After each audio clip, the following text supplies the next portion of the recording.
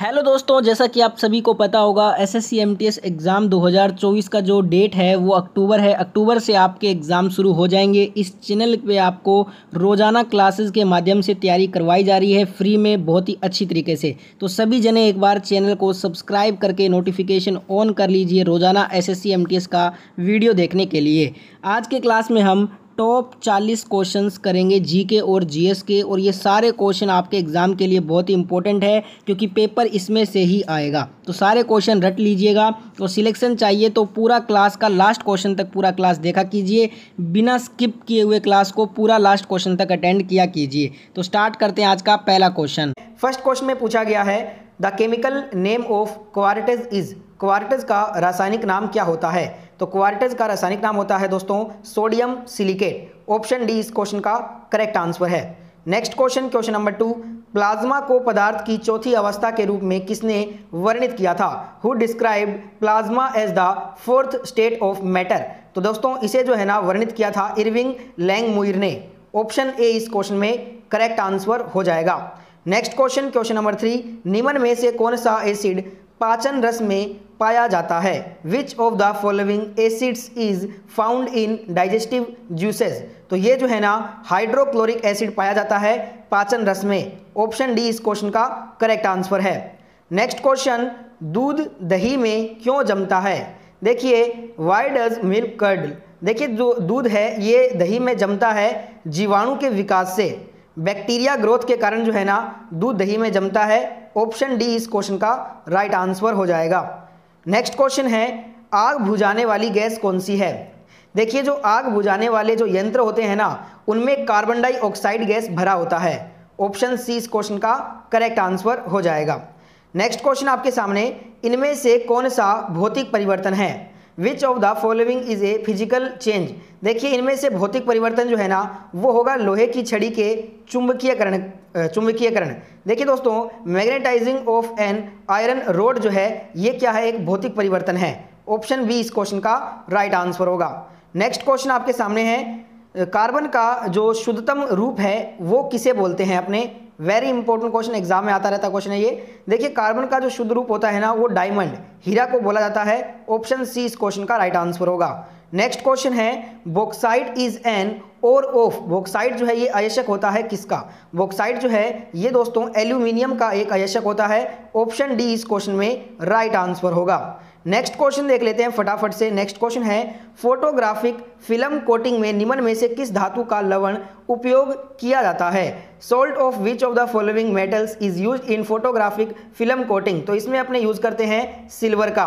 Option C इस question में right answer होगा। नेक्स्ट क्वेश्चन है, अनाज को संरक्षित करने के लिए प्रयोग किया जाता है जो रसायन होता है। देखिए, अनाज को संरक्षित करने के लिए जो हम रसायन यूज़ करते हैं, उसे बोलते हैं सोडियम बेंजोएट ऑप्शन बी इस क्वेश्चन का करेक्ट आंसर हो जाएगा इस क्वेश्चन में। नेक्स्ट क्वेश्चन आपके सामने है, देखिए वन्य जीव संरक्षण के लिए भारत का पहला आनुवंशिक बैंक किस शहर में उद्घाटन किया गया है? वन्य जीव संरक्षण के लिए भारत का जो पहला आनुवंशिक बैंक है, ये दोस्तों हैदराबाद शहर में उद्घाटन इसका किया गया है। ऑप्शन सी इस क्वेश्चन का राइट आंसर हो जाएगा। के सामने किसी अर्थव्यवस्था में निम्नलिखित में से कौन सा ऐसा कार्य है जो केंद्रीय बैंक के कार्यों में शामिल नहीं होता? देखिए दोस्तों, मौद्रिक नीति पर नियंत्रण, विदेशी मुद्रा विनिमय का कार्य और बैंकर के, बैंक के रूप में कार्य, ये तीनों ही जो है ना केंद्रीय बैंक के कार्यों में शामिल होते हैं, पर सरकारी खर्च पर नियंत्रण करना, ये जो है ना दोस्तों, केंद्रीय बैंक के कार्यों में शामिल नहीं है। ऑप्शन बी इस क्वेश्चन का राइट आंसर होगा। नेक्स्ट क्वेश्चन आपके सामने है निम्नलिखित में से कौन सा कथन इसमें सही है ये बताना है? चार कथन दिए गए हैं तो मैं आपको बता दूँ ए बी और सी ये तीनों ही कथन आप रीड कर लीजिए एक बार। ये तीनों ही कथन गलत दिए गए हैं। जो कथन डी है ना, ये बिल्कुल सही है। भारत में मुद्रा जारी तथा उसके प्रबंधन करने का अधिकार केवल रिज़र्व बैंक ऑफ़ इंडिया भारतीय रिज़र्व बैंक के पास ही होता है। तो यहाँ पे ऑप्शन डी वाला कथन ही राइट होगा। ठीक है दोस्तों? नेक्स्ट क्वेश्चन आपके सामने है। कौन सा बंदरगाह भारत के पूर्वी दक्षिण भाग में स्थित नहीं है? देखिए पाराद्वीप हल्दिया, चेन्नई, ये तीनों ही जो बंदरगाह है ना, ये भारत के पूर्वी दक्षिण भाग में स्थित हैं। पर मार जो बंदरगाह है, ये ये आपका पूर्वी दक्षिण भाग में नहीं है तो ऑप्शन डी इस क्वेश्चन का राइट आंसर होगा। देखिए, मार मागाओ जो बंदरगाह है, ये भारत के दक्षिण पश्चिम भाग में स्थित है। नेक्स्ट क्वेश्चन कौन सी तरंगे केवल धरातल के पास ही चलती हैं? Which waves pass through the surface only देखिए सरफेस ओनली पे जो है ना, ये एल तरंगे ही चलती हैं। Option C is the right answer next question आपके सामने, भारत में सबसे विस्तृत कृत्रिम झील कौन सी है?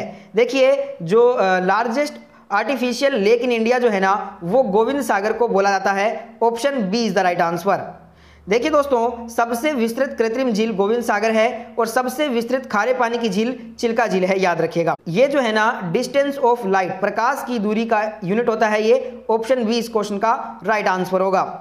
नेक्स्ट क्वेश्चन आपके सामने, पौधे का कौन सा भाग है जो प्रकाश की ओर वृद्धि करता है? Which is the part of a plant which grows towards the light तो ये जो है ना स्टीम होता है, तना वाला भाग जो है, ये प्रकाश की ओर वृद्धि करता है पौधे का भाग। ऑप्शन बी इस क्वेश्चन का राइट आंसर होगा। नेक्स्ट क्वेश्चन है, निम्नलिखित में से किसने गुलामगिरी लिखा है?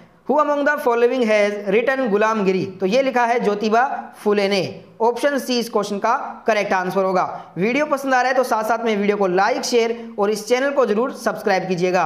नेक्स्ट क्वेश्चन है, भाप, अंगार, गैस किसका मिश्रण होता है? Water gas is the mixture of carbon monoxide and hydrogen तो यहाँ पे हमारा जो आंसर हो जाएगा वो हो जाएगा ऑप्शन बी देखिए जो भाप अंगार गैस है, ये कार्बन मोनोऑक्साइड और हाइड्रोजन गैस का मिश्रण होता है। ऑप्शन बी इस क्वेश्चन का राइट आंसर होगा। नेक्स्ट क्वेश्चन है, रुपया शब्द का प्रयोग सबसे पहले किसने भारत में अपने शासनकाल के दौरान शुरू किया था? Who used the term rupee during his rule in India तो ये सबसे पहले जो है ना शुरू किया था शेर शाह सूरी ने। ऑप्शन बी इस क्वेश्चन का करेक्ट आंसर है। नेक्स्ट क्वेश्चन, हीलियम से भरा गुब्बारा वायु में उड़ने लगता है क्योंकि, देखिए दोस्तों a balloon filled with helium rises in the air because तो जो है ना इसका जो आंसर होगा, वो होगा ऑप्शन सी हीलियम का जो घनत्व है, वो वायु से कम होता है, इसलिए हीलियम से भरा जो गुब्बारा है, वो वायु में उड़ने लगता है। ऑप्शन सी इस क्वेश्चन का राइट आंसर होगा। नेक्स्ट क्वेश्चन है, निकट दृष्टि से पीड़ित व्यक्तियों को किसका प्रयोग करने की सलाह दी जाती है? जिन्हें जो है ना, निकट दृष्टि दोष होता है, उन पीड़ित व्यक्तियों को अवतल लेंस प्रयोग करने की सलाह दी जाती है। ऑप्शन बी इस क्वेश्चन का करेक्ट आंसर होगा।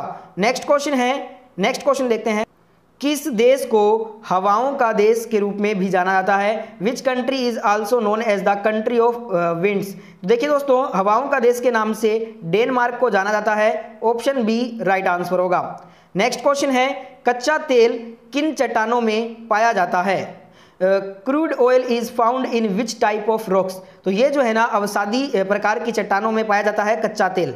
ऑप्शन सी राइट आंसर है। नेक्स्ट क्वेश्चन फोटोग्राफी में जो प्राथमिक रंग हैं वो कौन से होते हैं? The primary colours in photography are तो ये होते हैं रेड ब्लू एंड ग्रीन लाल, नीला और हरा। Option B is the right answer next question रहेगा यहाँ पे हमारा। 1953 में गठित राज्यों पुनर्गठन आयोग की सिफारिशों के बाद कितने राज्य और केंद्र शासित प्रदेश बनाए गए थे?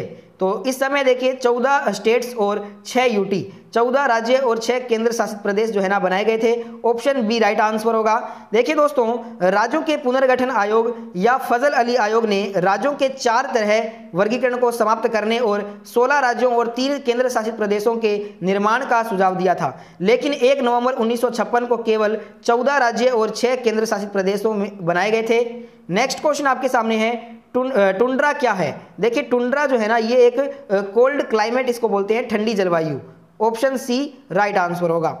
नेक्स्ट क्वेश्चन है, निम्नलिखित में से कौन सी झील रूस में स्थित है? Which of the following lake situated in Russia देखिए, रशिया में जो है ना, बेकाल जो झील है, वो स्थित है। ऑप्शन सी राइट आंसर होगा। दोस्तों, जो बात करें यहाँ पे अपने बालकस झील की तो ये कजाकिस्तान में स्थित है, बेकाल झील रूस में स्थित है, पेंगोंग झील तिब्बत में स्थित है और विक्टोरिया झील जो है, ये एक अफ्रीकन झील है।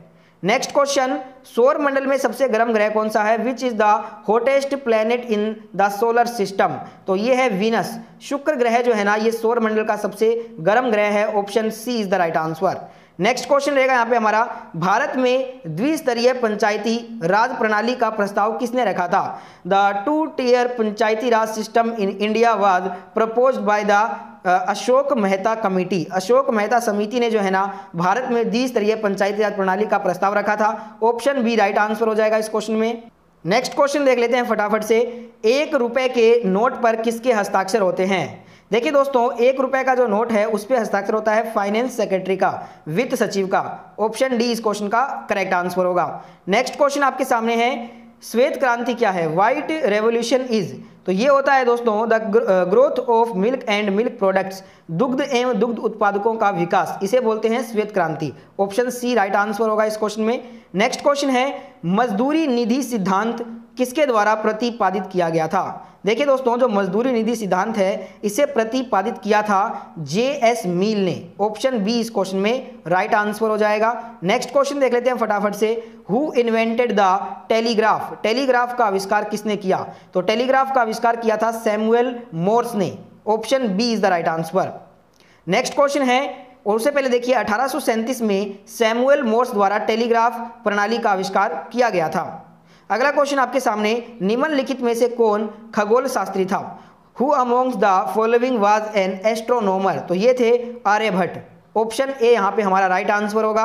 नेक्स्ट क्वेश्चन है प्रत्यक्ष कर संहिता निम्नलिखित में से किससे संबंधित होता है? The direct taxes code is related to which among the following तो ये संबंधित होता है इनकम टैक्स आयकर से। Option A is the right answer और इस वीडियो का लास्ट क्वेश्चन है क्वेश्चन नंबर फोर्टी और ये रहेगा आज का आपका होमवर्क क्वेश्चन इसका आंसर देना है आपको कमेंट सेक्शन में। किस वायसराय के समय रोलेट एक्ट पास हुआ था? सबसे पहले आप, तो आपको बताना है रोलेट एक्ट कब पास हुआ था और किस वायसराय के टाइम में? ये दोनों ही क्वेश्चन का आंसर आपको कमेंट सेक्शन में बताना है। वीडियो अच्छा लगा तो वीडियो को लाइक करें, वीडियो को शेयर करें और साथ में चैनल को सब्सक्राइब करके नोटिफिकेशन बेल को भी ऑन कर लेना।